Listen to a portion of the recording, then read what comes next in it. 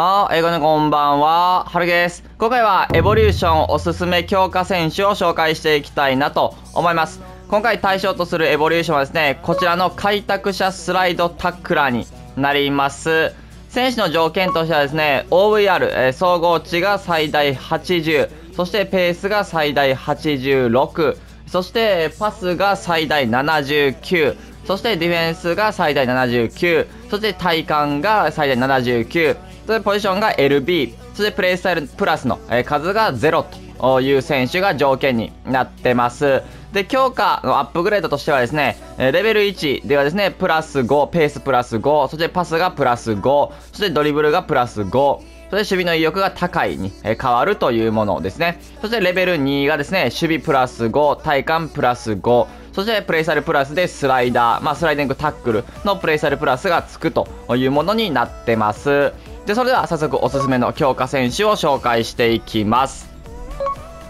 こちらがですね、おすすめの、まあ、開拓者スライドタックラーのおすすめ強化選手になります。まあ、海外の方がですね、まとめてくださったんですけれども、えゴッドフレイだったりとか、え、パウラ・トーマス、あとはマラシア、え、レナン・ロディ、ベン・セバイニ、まあ、この5名が特におすすめにはなってくるかな。まあ、個人的におすすめできる選手たちも、まあ、この選手たちにはなります。まあ、あとはレギロンとかね、ユナイテッドでいいんですけど、ただ、まあ、マラシアでユナイテッドはいいかなっていうふうに思うので、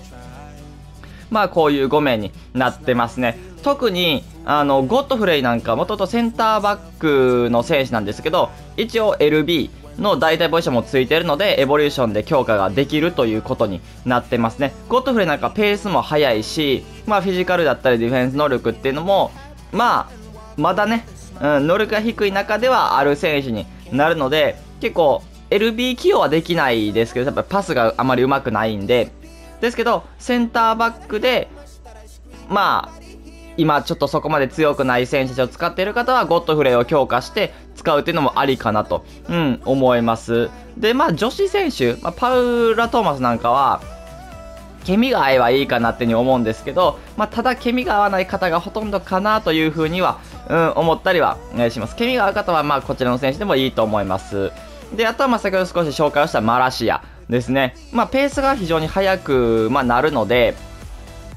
まあ、こう小さいんですけれけれども、まあ、置いていかれない力を持っていたりとか、まあ、フィジカルはね、ちょっとそこまで強くはない選手ですけれども、まずこうサイドバックとして追いついていってくれるっていうのはいいのかなと、うん、思いますね。で、まあ、レナン・ロディなんかも、うん、結構いいかなっていうふうに思いますし、まあ、リーグワンのね、LB っていうのは、まあ、ヌーノ・メンデスだったりとか、あとはカイオ・ヘンリクとかかな、しかいないので、まあそこでなかなかちょっと選手数が少ない中で、まあレナロロディを強化して、こう使うっていうのは全然ありなのかなっていうふうには、うん、思いますね。で、ベンセバンにも、まあやっぱりブンデスの LB はアルフォンス・デイビス一択かなっていうふうに思ったりはしますけど、まあやっぱりデイビスも値段ね、ちょっと高かったりはするので、まあその中でベンセバンにちょっとペースは遅くはなりますけど、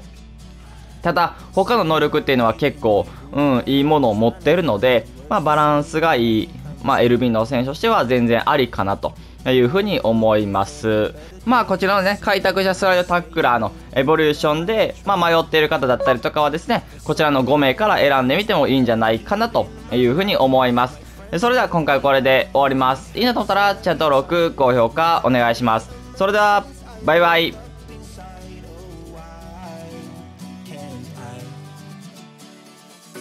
someone look for me if I disappear. No matter how much that I scream, nobody hears. But I see the light from far away, it's down the line. Maybe I should not give up without a fight.